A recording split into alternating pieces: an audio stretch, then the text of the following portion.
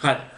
Today's lesson is on the major scale. The major scale is one of the most important building blocks of music you hear on the radio and almost all music in our society. And so it's very important when you're learning guitar that you spend some time learning this because when once you do, you'll begin to see a lot of different places and it will really help you out as a guitarist, both as far as being able to identify things you hear and as far as when you're playing new songs, it'll kind of create a um, like a pattern you can follow when you're learning new things. So the major scale sounds like this.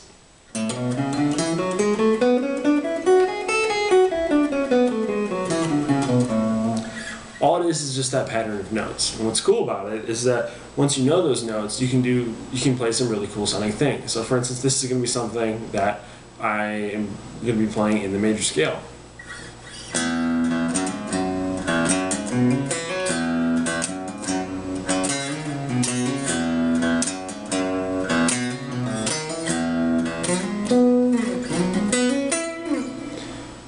That was all just using notes in the major scale. And so as you see, once you learn this just basic pattern of notes and you start playing around with it, you'll be able to do some really cool sounding things. And so this is how you play the major scale. I'm going to teach it to you starting on the A on the low E string, which is on 5th fret. I'm going to go all the way up from the low E string to the high E string, A to A. And I'll teach all the notes. And so how it goes is like this.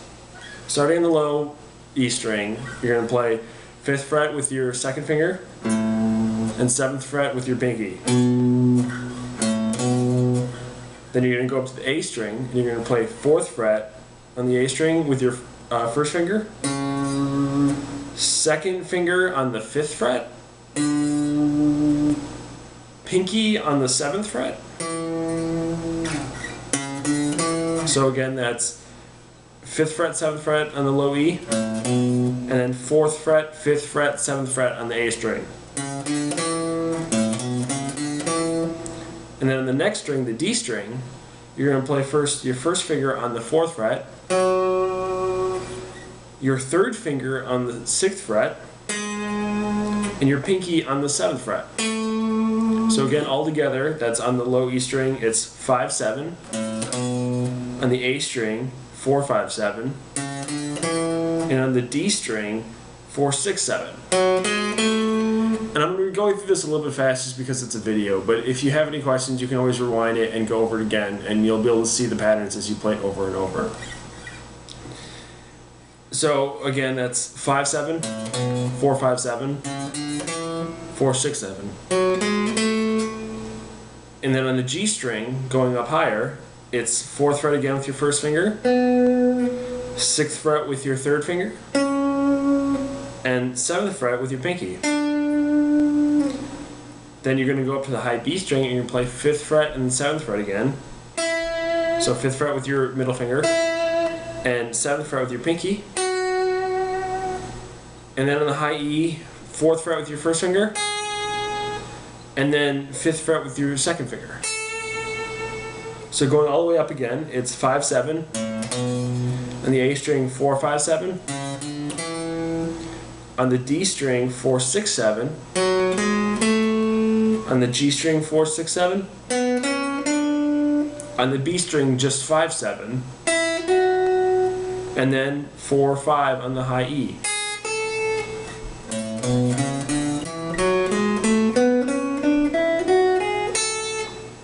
And then once you play those notes going up you can go back down. So it's 5 4 fifth uh, second finger on the 5th fret four, first finger on the 4th fret on the high E on the B string, it's seven, uh, pinky finger on the seventh fret, and the middle finger on the fifth fret.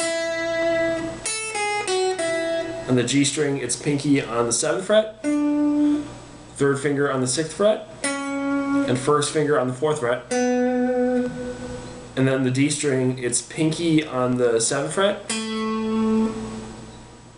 uh, third finger on the sixth fret, first finger on the on the fourth fret. And again, these are the same notes you were playing going up, just playing them in the reverse order. So starting from the top, it's 5-4, then 7-5, 7-6-4, 7-6-4 on the D string, and then on the A string, it's again pinky finger on the 7th fret, second finger on the 5th fret, first finger on the fourth fret, and then the low E seventh fret with your pinky finger, and then fifth fret with your middle finger. So that's five four, seven five, seven six four, seven six four with the D on the D string, seven five four on the A, and then seven five on the low E.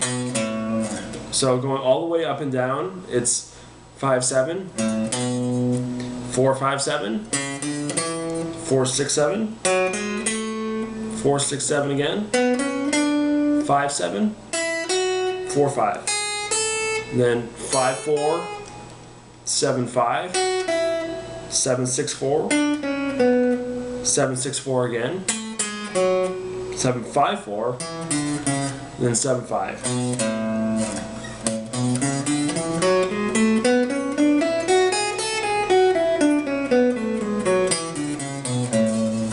That right there is the major scale.